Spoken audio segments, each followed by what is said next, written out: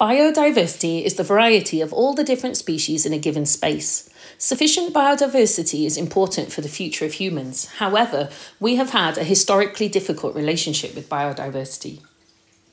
Attitudes have recently begun to change and measures are being taken to prevent further damage being done and to re- regain pre existing biodiversity. An awareness of the detrimental nature of these activities has existed for several decades.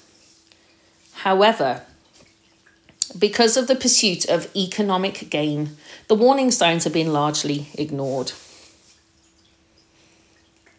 Industrial Revolution. For some time, and especially since the Industrial Revolution, humans have conducted many activities that have caused a severe decline in biodiversity on a global scale.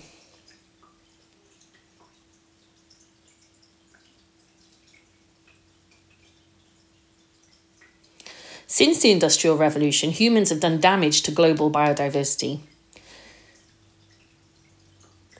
Deforestation.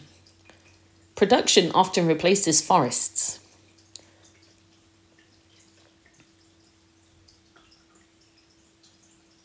Production. Production uses natural resources and often takes place in land that used to be forest or greenery.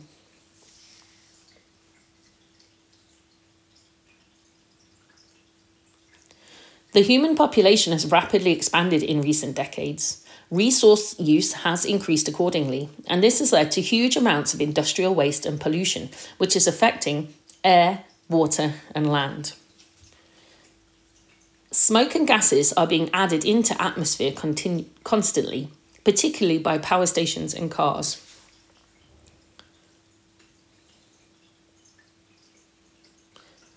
Sewage and toxic chemicals, which are produced by industrial practices, as well as excessive fertilizer from agriculture, all find their way into the Earth's water sources.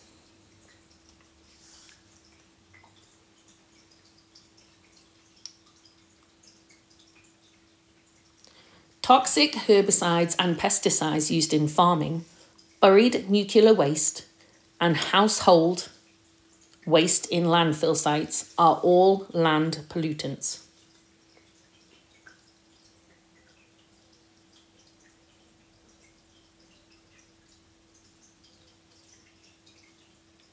Why do you think the human population has been rapidly expanding?